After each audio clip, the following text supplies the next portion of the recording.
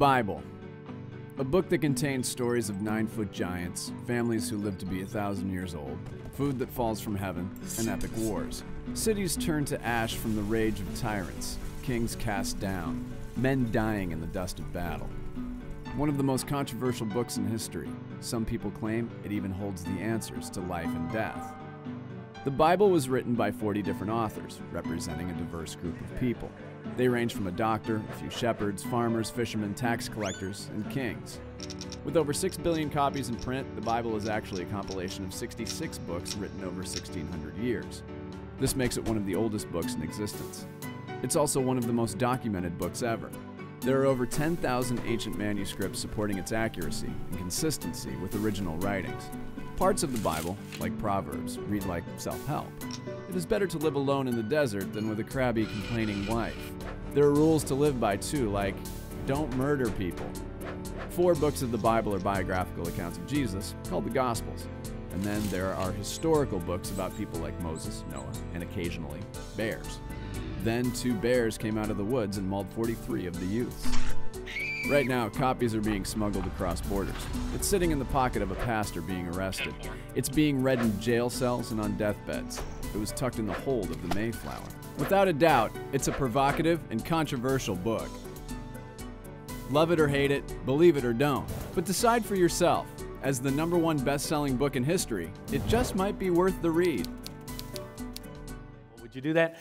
Grab your Bible right now, and we're going to dive into this new series. Just a three week kind of series. We walk through the book of Genesis, or some of it, and to get us on track as we walk through what we're calling the year of the Bible. Uh, but I want to say, I want to start up front. Uh, we have a problem with the Bible. Can I say that in church?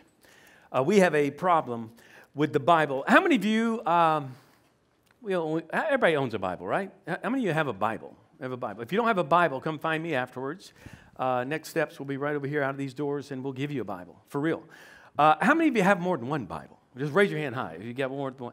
How many of you, like me, you've got like, like multiple Bibles? Okay. In my office, I don't know how many Bibles I have. I, I've got, I bet I have 20 Bibles. I mean, different translations, whatever else. And, and, and, you know, then you can go online, right? And now you can find everything you want on YouVersion or wherever else. Uh, you can go and find all kinds of stuff about the Bible. If you're like me, uh, how many of you, I'm curious, not all of us did, but how many of you grew up in church? You grew up in a church, like from the time you were little. I was in church nine months before I was born. And, uh, and I was one of those who received, back in the day, I got the little baby Bible. Anybody get a baby Bible when you were little? I had people give me a Bible. I had adults give me a Bible as a child. Uh, and I received that Bible, and I believed, they told me it was true. This is God's word is true, and I believed it was true. I hadn't read it, I just believed it was true. And, and, and so then, you know, a lot of us, the way that we approach the Bible nowadays is, is kind of like this. You know, we, we look on, on social media, for instance. We look on Instagram and we see somebody did a calligraphy of a verse. That's a great verse. Um, probably the one verse that's taken out of context more than any verse. I can do all things. No, you can't. Not really. I'm going to make the basketball team. No, you might not. You're not very good. Um, no, I can do all things. You know, so we, we look at, we pull verses out, or it might be like this. Like, I, in fact, I posted this one, okay? That's an awesome verse. Just want to encourage people, put it out there on Instagram, but it's, it's taken out of context as well. It's not to say it's not powerful, okay? Keep pressing on. We've got other, other possibilities. This girl's killing it in her quiet time. I mean, she's going next level. She's got post it notes and she's got the coffee going on as well. Incredible. We got another gal who I think it's a gal because she wrote in the, in the side of her book that now I'm looking at this, I'm going, that's legit, that's amazing, it's out of Galatia. She got the Halo Top ice cream. That is, I mean, I'm divert. I'm like I'm man. I can't focus. I mean, I'm on to the ice cream, right?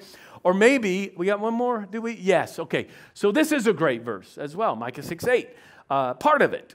My point is this this is how we engage the scriptures nowadays. Or maybe you, you know, you, you read, you get a devotional from somebody. Maybe you get an email and they have a verse on it and that person talks about the verse. Maybe you do read a devotional. That's all good. It's got a verse or two and some other person's description and how the, the verse spoke to them. Now they're going to tell you. And what we end up with is a secondhand faith, a hand me down faith. Not all of that's bad.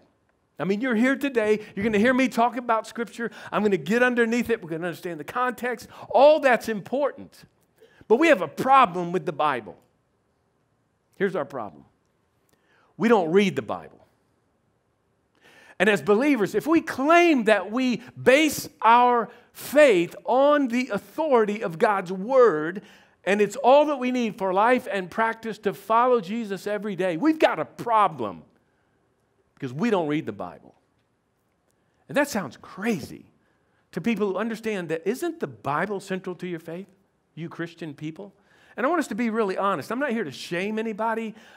I'm just challenging all of us Many of you, in fact, how many of you are reading through the Bible this, this year with us? Year of the Bible. Okay. You can still join us, all right? This is an incredible journey. Uh, the, the Read Scripture app has been awesome with helpful videos and such that help us understand the context and what the book's all about as we dive into it. But here's what's going on in our culture today our young people are, are that generation, and it happens with each one. In this generation now, Pew Research has done uh, big study of, across the board, and then other researchers have done this as well. And the fastest growing group, when you talk about religious belief in America, the fastest growing group is called the nones. Some of you heard this, not like nuns out of the church, Catholic Church nuns, N O N E S nuns. Those who would say, when asked about their religious affiliation or belief, they say none is now at 25% in America, highest it's ever been, up from just 16% in 2007. That's a leap. There's a lot of people, you know, trying to interpret all that as to why that is the case. Part of it is that no longer do you need to be a cultural Christian in our, in our society. Where people maybe had the halo effect previously and they were saying, oh, yes, of course I'm a Christian. And they really don't know what it is to be a Christian at all. But my point is this we hear all these stats about students, young people who you know, head off to college and then they leave the church. That's been happening for a long, long time. That's not to say they don't come back, because many of them come to own their faith finally in college. But listen, here's the point if the Word of God is not central to your life, and if you're not in the Word regularly and in the body, you know, interpreting and understanding the Bible in our connect groups, in our crew groups with our students, on Wednesday nights, in connect groups on Sunday mornings, if you're not in the Word, even on a daily basis, and young people developing a habit of being in His Word, then you're going to go find yourself off in this, this flood of secular thought and ideology that comes at us. And your hand me down faith, your secondhand faith, will not, will not prevail. And no wonder so many are turning away because we claim to believe the Bible and we don't read it. So I challenge you, honestly, do you read the Bible? And if you don't, this, uh, this whole series is for you. The reason we don't is that perhaps we don't truly believe that it is the Word of God. You know, there was a time in Western civilization you think about post Reformation, where it was all about sola scriptura. Scripture alone is our authority, not, not some structure of hierarchy or some pope or person, but Scripture alone points us to the truth of God. It's one of the five solas of the Reformation. So, following the Reformation, all of, of the Western civilization, okay, so, so all through Europe into North America, us, all right, Australia, uh, all of Western civ became this uh, Bible based, you know, Bible believing kind of culture that helped shape the, our entire civilization. We're still a culture that's haunted by biblical truth, whether we know it or not. And I mean, in a good way, haunted. Like it's, it's guides so much of what we do. But what's happened over time is that we no longer read the scriptures. It's not central to our lives. And so our great challenge is to get back to the Word. So there was a time I remember. I remember a bumper sticker that said, um, "God said it." Right? The Bible says it. I believe it. That settles it. Right? And there's two things wrong with that. The truth is, the Bible says it. You interpret it, then you believe it. Whatever your ter- interpretation is, that settles it. So we'll talk about that the, over the next couple of weeks. How do you interpret the Bible? Uh, how about this? The Bible says it. Whether you believe it or not, that settles it. And so we, are going to understand what it is to look at the Word of God and see how we can overcome now the authority. Think about it. If you take, I was talking to our students yesterday about this, if you take the authority of God's Word out from your life, then who, what becomes your, your authority? Now, we've talked about that as we looked at the book of Genesis. Ultimately, you become your own authority. If there's no authority, so it's anybody, you do you, I do me. The autonomous self has become the authority in our culture, the prevalent, predominant authority. So anything goes, your truth up against mine, your truth is okay with mine, until, whoa, there is some conflict there.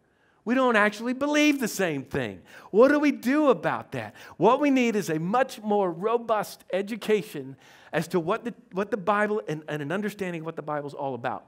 Now, some of you remember, got my students here in front of me, uh, you, you would not have remembered this, but back in the day, you've probably heard this, we had the three R's of education, right? The foundational core things that you need to know in elementary school in order to move to the next grade to the next grade. The three R's of education, everybody, you students, you've heard this. The three R's. Okay, the first one is anybody?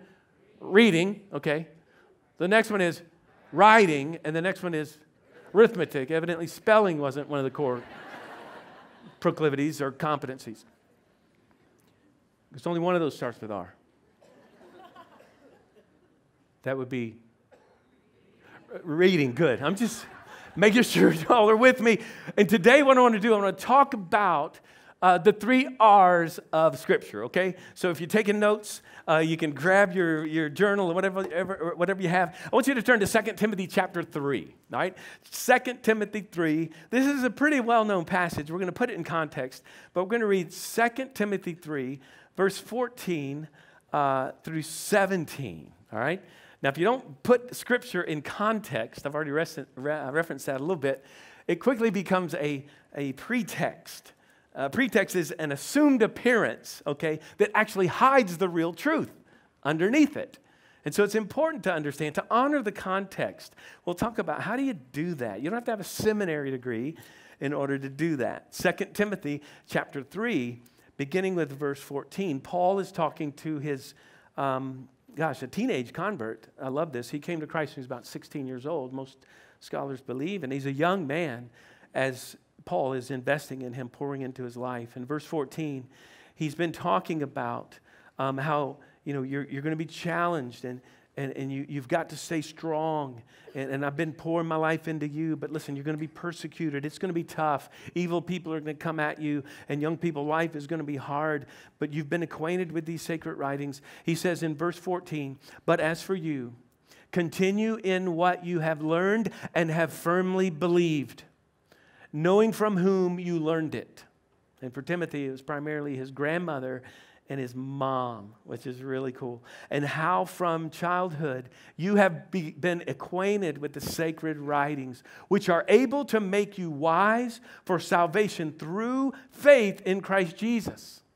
We'll talk about that. It's pointing to Christ. All scripture is breathed out by God. All scripture is inspired by God and profitable. It's advantageous. It's good. It will help you in these ways. Look, profitable for teaching, for reproof, for correction, for training in righteousness, that or so that for the purpose of the man or woman of God may be complete. That word's not teleos in the Greek, it's artios, which means mature, not perfect, process, not perfection, progress, not perfection, may be complete, mature, equipped for every good work. All right, now let's unpack this. And if you, again, if you want to take notes, let's, let's go with the three R's. What is the Bible? The first one is the Bible is, is relevant, right? The Bible is relevant. There is so much talk about relevance today. You know, what's relevant? What's the latest? What's the hippest, coolest thing out there? And the Bible has remained relevant from the time it was first written. The oldest uh, books written 3,000 plus years ago. It speaks to every lifetime, every era, on every part of the planet. It's an amazing book. It's more relevant than today's news feed, where you might get, you know, fake news or false news or who knows what the truth is in all things going on in our world today. The Bible is true. C.S. Lewis is the one in his book called The Four Loves. He said that all that is not eternal is eternally out of date. We're always trying to keep up with the next thing, right? I mean, the, you know, music is going to come and go. If I were to ask you who won the Grammys last, last, well, how about last week? I mean, This Is America is the song, right? um, that won the Grammy. This, and we're going to forget that. I hope. Uh, I, that song's going to be gone, right? Artists come and go. Art comes and goes. Books come and go. Fads come and go. But the Word of God, it says in Isaiah 40, verse 8, Word of God stands forever. And it stands forever because it's true. It stands the test of time. But look at what it says here. It says in verse, uh, verse 14, But as for you, so they're saying, hey, Timothy, listen, people believe a lot of different things that come and go. Everything is becoming outdated. But as for you, continue in what you've learned and young people, stay in it. Continue in what you've learned, even if you've just started this weekend and have firmly believed. He's saying, You have believed this, Timothy. This is yours. Now, as I, I as I shared with our, with our students just yesterday, hey, believe, Lord, I believe, but help me with my unbelief. We all struggle with belief. He's saying, You've believed this. And knowing from whom you believed it, you've learned it from reliable people people who love you. And this is the case here in our church, people who love you and who are reliable and trustworthy are teaching the Word of God in our connect groups and to our students, to our children, to our preschoolers. The Bible will stand forever because it's true. I love what Charles Spurgeon, the great uh, Baptist preacher, said in London in the 1800s. Uh, he said a lot of great things, but he said that the Word of God is like a roaring lion. Maybe you've heard that before. You know, people are trying to defend the Bible all the time. And, and we get locked into all different, you know, nuances of, well, is that true? Did that really happen? And what about this and that? And we get lost in that. And some people turn away from the faith because they want every little thing answered. And, and, and, and, and what Spurgeon said was, you don't have to defend a roaring lion. Think about it. You don't have to stand around a lion and say, y'all back off. This lion, we're going to protect him. No, the lion can protect itself. The Bible is the roaring lion.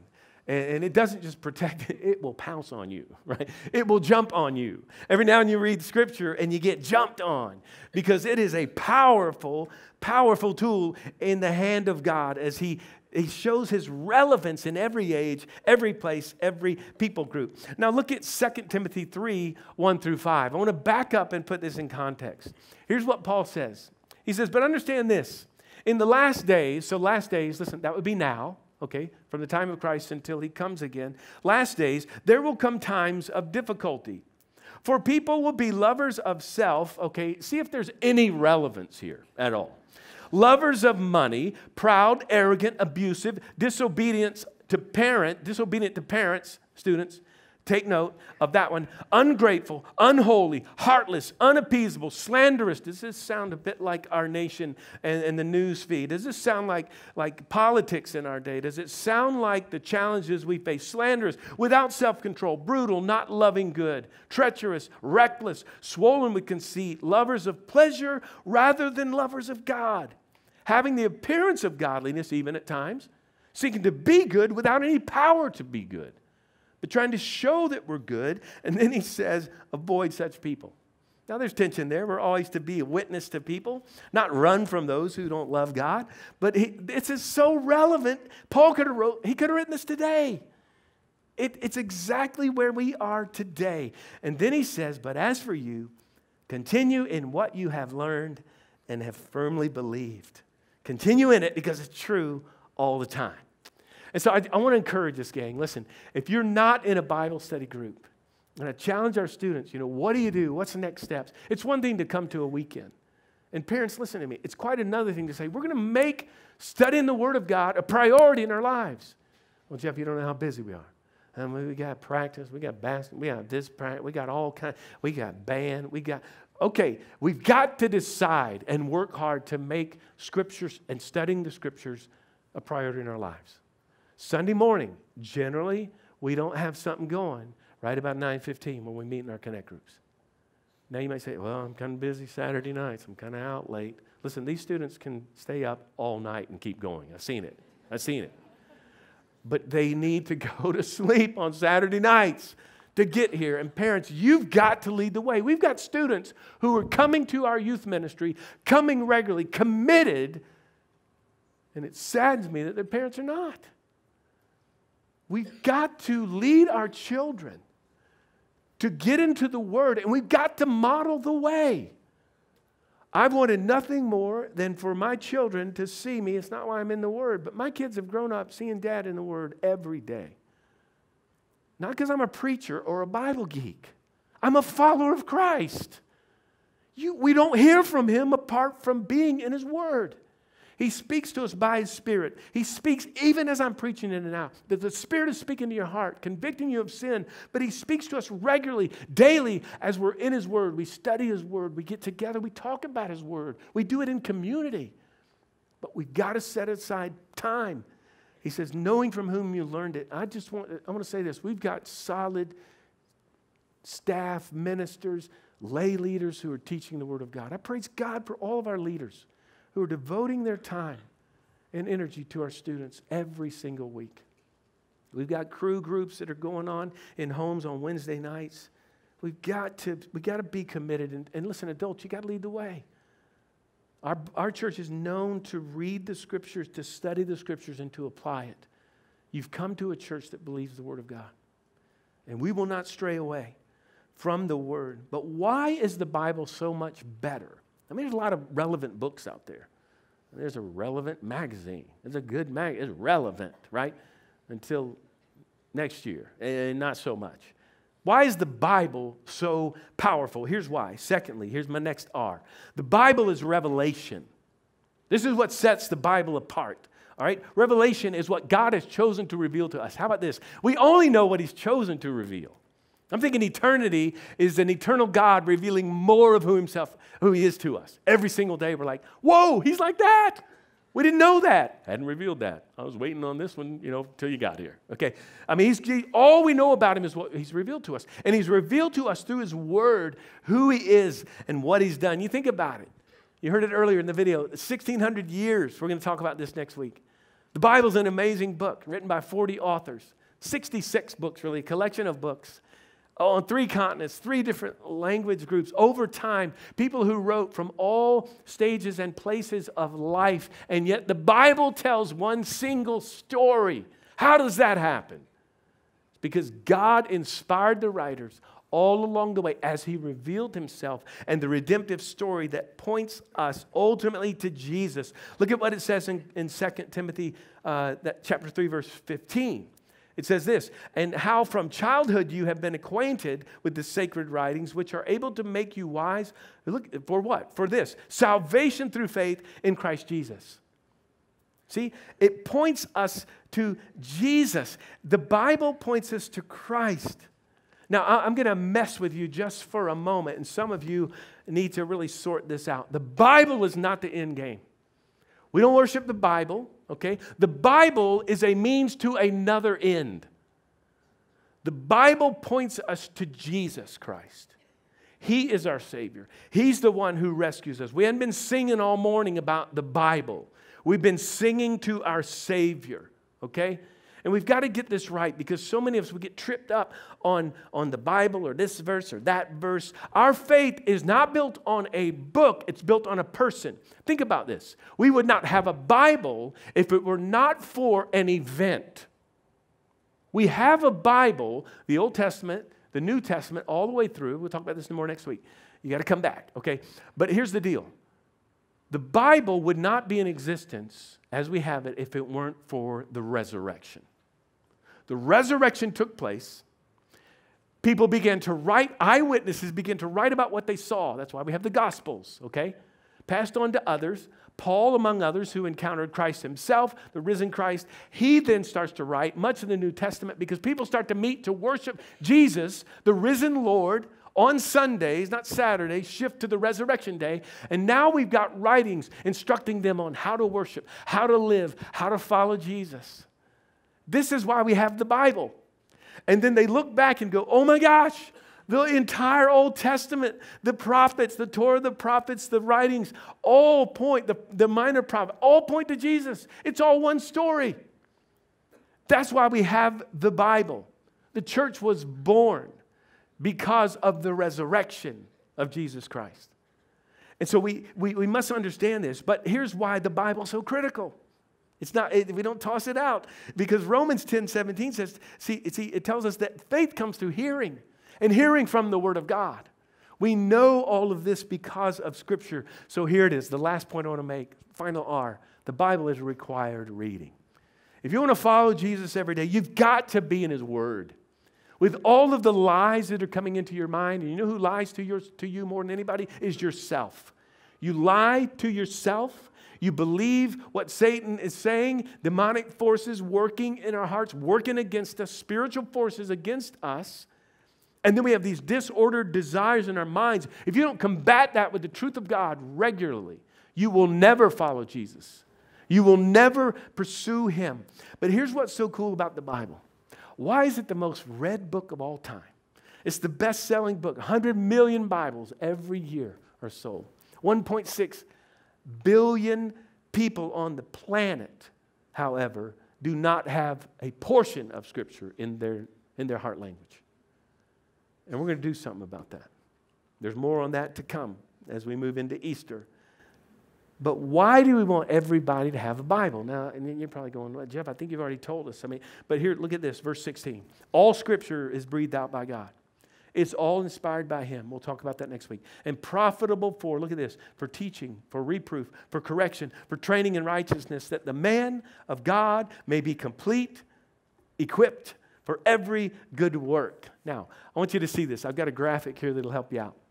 Some of you have seen me teach this before, but it, Scripture is profitable. Okay, if the arrow is the, the path of righteousness, the, the way we're to live our lives, then, it, then the teaching is what shows us how to get on the path, right? But then watch this. Then he says there's reproof, right? This is where it shows us how we've gotten off the path. And then there's correction. Correction in God's word tells us how to get back on the path. And then training in righteousness shows us how to stay on the path and stop getting off the path with all of the consequences, the damage, and the challenge that comes when we stay uh, in, on our own path instead of the Word of God. But here's the thing stay the course in your reading. Some of you, I know the Bible's an intimidating book. Um, it is overwhelming, in fact. It can be for me. Um, and, and, so we've got to stay the course. It's kind of like school. Um, I don't know about you students, but for me, it was math. I just did not like math. Anybody love math? Any of y'all love math? Bless you. Um, so, but a lot of you are like, no, that, or whatever, you know, if you love math, then you're probably something else that you just can't handle. That, my point is this you don't love all subjects in school, but you've got to take, you got to take those subjects. You got to know something, right? We don't, you know, all of Scripture is inspired by God, but not all Scripture is, is as applicable. I mean, we're in the book of Numbers right now. And we're, you know, we're walking through, I mean, in Leviticus, man, there's a bloody religion. But it just points us again to the once and for all sacrifice of Jesus. And so it, it, you gotta, it's like exercise. You got to stay at it, right? It's like eating a meal. You got to keep eating. It's like in the family to have meals together. You know, you may have a meal and go, we just kind of argued the whole time. But you know what? If you do that over time, that'll change the course of your family. It's like being in the Word every single day. I, I read scriptures sometimes and I'll walk away from it going, I'm not sure what. I don't know. Lord, I didn't hear anything. I don't know. Uh, but I'm going to do my best today. That was weird. Okay. Um, uh, you know, I mean, that happens. But if I do that daily, it changes the course of my life over time. And that's what it's done. The same is true with you. Stay at it, is my point. Be persevering. The point is that you've got to continue in the Word, but there's a warning here. Don't put the Bible in a box and decide that it's simply a set of rules and laws. If you just want to seek the Bible for information and not formation, you're going to end up prideful and judgmental. That's why many believers are. Well, I know God's word, and you're not following it. And what we need is a lot less of this, and we need a lot more of this. I, I need to, I need to repent. I need to turn my heart to God. I'm the one who needs help. I need the word. But listen, gang, here's the thing about the Bible. Many people approach the Bible wrongly, and we look at it and we go, wow, uh, we, we need to remember this. Before Genesis, there was God. Okay? Now, I like the Bible, now we know about God. And this is where we get off in terms of interpretation. Before the, before the book of Exodus, there was the Exodus. Okay? before the Gospels, there was Jesus. And so we, we're not, we don't worship the Bible, we worship Christ. And so we don't need to get locked into all kinds of little nuances and stuff that just derail people. when the whole Bible points us to Christ and, and a relationship with Him, we'll talk a lot more about that. My point is this it's a love letter. It's a love letter, it's invitation for you to join Him. This is why those who are prideful and, and like, man, I know the scriptures, I know the scriptures, I know the scriptures, and become judgmental and prideful. The Pharisees did the same thing. and They knew the Bible better than anybody in here today. And here's what Jesus said to them in John 5 You diligently study the scriptures because you think that by them you possess eternal life. If you keep the scripture, you, you know that, yeah, I got knowledge. I'm, I'm, I grew up in the Bible. I'm all about the Bible. These are the scriptures that testify about me. Yet you refuse to come to me to have life. Here's what I've learned faith precedes reason. Faith, commitment to Christ, precedes understanding. That's how it works. You receive His Spirit, and you come to understand His Word, and it points us to Jesus, it points us to love. Let me tell you something. Loving like Jesus, that's great theology. Being like Christ, that is dead on theology. And yet people want to argue about all different parts of the Bible. Listen, if the Bible's not pointing you to Jesus, you've missed the point. John 20, verse 31 says this But these are written that you may believe that Jesus is the Christ, the Son, and that by believing him you may have life. That's what he says at the end of his, of his book. He says, This is why we've written this. So you know Jesus. That's the point, the main point. So I'm asking you, have you come to him? Have you come to Christ?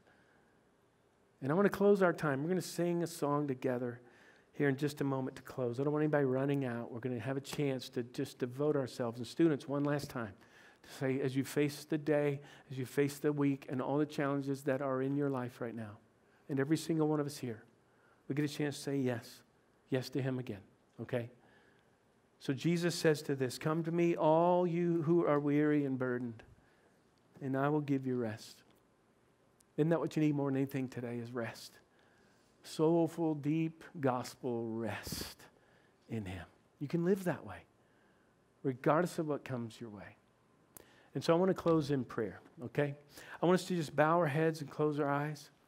And I want to ask you, friends, before we leave this place today, and before we sing together, to proclaim our faith yet again, have you received Christ? And, what I mean by that is not you said you prayed a magic prayer. It's not a magic prayer. Do you believe that what his word says is true? Do you believe that what history points to is true? That Jesus died on the cross for your sin so that you might receive his forgiveness by faith, not by your works. Praise him for that. But by believing what he's done for you. Have you done that? And if not, friend, now, right now is the, is the day. Some of you, you don't let this weekend go past without saying yes to Him. Jesus says, Come to me. This invitation is not to a pastor, not to a church, it's to Jesus Himself who says, Come and find grace, find forgiveness, find love that you're looking for from me. And so, Lord, we, we give you our lives. Friend, right now, you can just say, Jesus, I give you my life. I believe. I believe. And I follow you. I want to follow you with my life. Thank you for dying on the cross for my sin. There are parents here who need to repent and turn to the Lord. There are adults, you're here today and you need to decide to do something. You need to be in the Word. You need to tell someone, I'm going to start reading the Scriptures daily. Some of you need to join the fellowship of the church. Some of you need to follow in baptism. Proclaim to the world you belong to Him. So, Lord, we give you our lives, and I pray that we'll never, ever be the same. We thank you for your grace today. In your name we pray. Amen. Thank you for taking time to watch this sermon. If you would like more information about our church or following Jesus, please go to our website, pcbc.org, or contact our church offices. We hope to see you next week at church.